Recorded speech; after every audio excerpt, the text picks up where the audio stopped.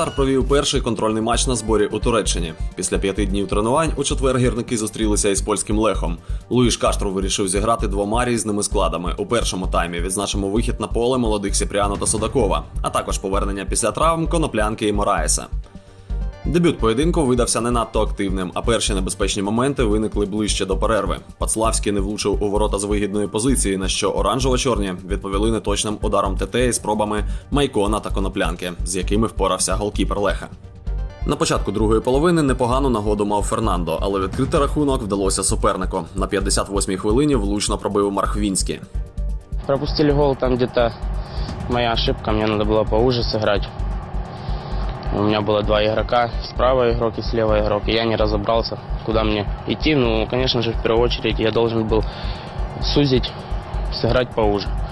Ну, ничего, через ошибки все проходят, я думаю, надо исправляться и работать дальше. Пропустивши м'яч, гірники перехопили ініціативу. І ось уже Вітао забракло зовсім трохи, аби замкнути подачу Дентіньо. А Вандерхарт урятував поляків від рикошету після прострілу Фернандо.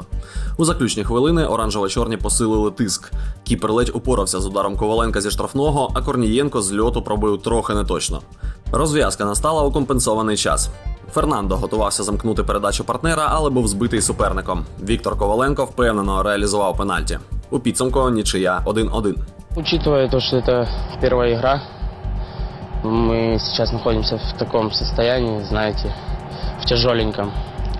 Только недавно начали работать. Ну, естественно, тяжеловато еще. Мы сейчас только начинаем вспоминать все свои наработки, где-то новое что-то появилось. Ну, а в целом так. Ну, вся команда старается, молодцы, что не проиграли, да, и плохо, что не выиграли.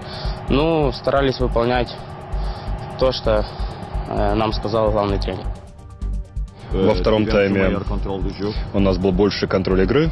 Несмотря на то, что как в первом, так и во втором тайме мы не создавали огромное количество голевых моментов. Объем атакующей работы во втором тайме можно было бы создавать больше ситуаций, больше моментов.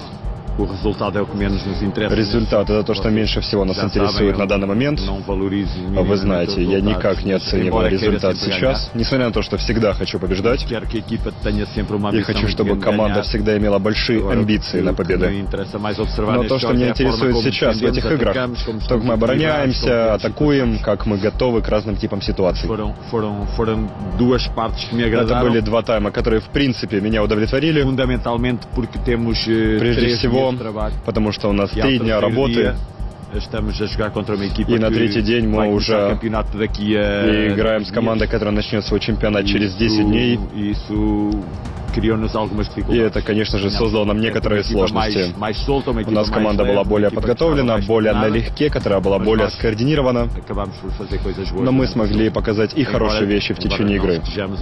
Несмотря на то, что мы не были на том уровне, который мы требуем от, самим, от самих себя. И без всяких сомнений мы туда придем. Наступний спаринг Шахтар проведе у суботу, 23 січня, з болгарським Лудогорцем. Матч розпочнеться о 16.00. Ексклюзивна пряма трансляція на каналі Шахтар ТВ і в сервісі Шахтар Клаб. Після першого спарингу ранкове заняття тривало годину. Перед його початком Луїш Каштру зібрав підопічних і влаштував розбір учорашньої гри. Вказав на помилки та недоліки, зокрема на слабкий пресинг і тиск на суперника. Як зазначив Валерій Бондар, вказівка була такою: або ж відбирати м'яч агресивно, витрачаючи енергію, або ж відпочивати, контролюючи його. Ну, сказал пару моментов, там, э, где нужно отдыхать, то находиться с мячом, а не без него, когда нам еще становится тяжелее и бегать за соперником, за мячом, и либо же отбирать мяч э, у соперника и быть агрессивным, либо находиться с мячом и отдыхать, когда мы контролируем мяч.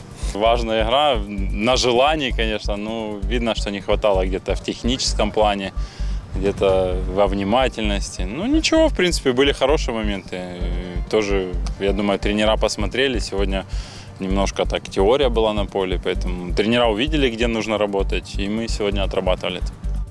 Не брали участі у тренуванні Олексій Шевченко, Віктор Корнієнко та Богдан В'юнник. Заняття було тактичним, тож шостий день зборів футболісти розпочали без надмірних навантажень.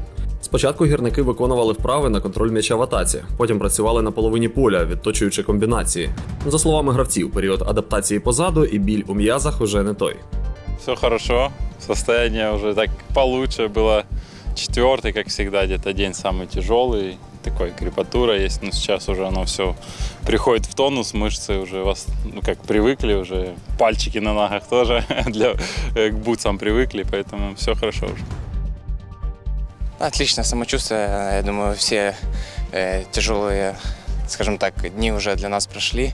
И буквально еще вчера была, скажем так, усталость в ногах, то сегодня уже после первой игры чуть-чуть полегче. И я думаю, сейчас уже начнется работа чуть-чуть на тактического плана, но все равно есть хорошие беговые упражнения и все с мячом, поэтому я думаю, это будет только нам на пользу. Оскільки ніхто з гравців матчі з Лехом не провів на полі понад 45 хвилин, у день між спарингами гірники також тренуються двічі, так сказав асистент головного тренера Вітор Северіно. Отже, вечірнє заняття заплановано і на 22 січня. Творча група Шахтар ТВ підготувала нове велике інтерв'ю з легендою клубу. Спілкування з екс-форвардом Шахтаря та збірної України Олексієм Бєліком складається з двох частин. І 23 січня ви зможете побачити першу з них. Сьогодення бомбардира, робота експертом у ефірі каналів футбол.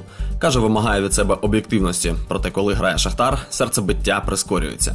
Конечно, когда играет Шахтер, э, иногда эмоции захлестывают, и э, ну, тяжело, тяжело с этим, конечно, бороться, но я понимаю, что у меня э, такая миссия, я не могу э, м, там, команду э, гладить по голове во время там, поражений. У розмові із корінним донечанином, для якого футбол став порятунком від роботи у шахті, згадали старі часи. Ці стежки і маршрути відомі кожному містянину, що мріяв про футбольне майбутнє.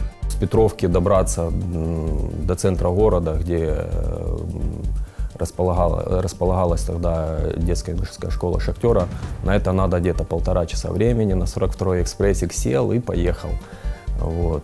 Это, это не сегодняшний транспорт, да, которым можно пользоваться без проблем. Тогда надо будет постоять на морозике или на жаре, дождаться автобуса, проехать полтора часа, потом потренироваться и в, и в другую сторону то же самое. Білік став символічною фігурою у першому сезоні Шахтаря у лізі чемпіонів. Олексієві вдалося забити гол у груповому раунді турніру у ворота лондонського арсенала. Після перемоги 3-0 юного нападника зустрічали вдома як героя. Я очень четко помню, что после э, того матча приехал, э, как всегда, домой, к себе на район, там пацаны все в шоке, и, э, то есть, ну, как праздновали, ну, 3-0 обыграть э, Арсенал и с, с таким составом, ну, конечно, ну, это навсегда в памяти. Білік зізнався, що планує стати тренером, хоч і робота експертом йому до вподоби. Першу частину інтерв'ю з екс-бомбардиром гірників дивіться 23 січня о 20.00 на Шахтар ТІВІ.